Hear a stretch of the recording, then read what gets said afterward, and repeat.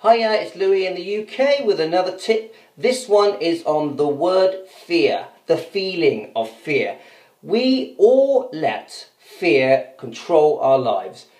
It's a mistake because fear is stopping us from making our lives better, making us happier, making us uh, take chances, uh, improve the quality of our day to day existence. Fear is stopping us from meeting new people, making new friends, could be stopping you from meeting a girlfriend or a boyfriend. Fear is holding us back. The best thing about going against fear is that you can only gain.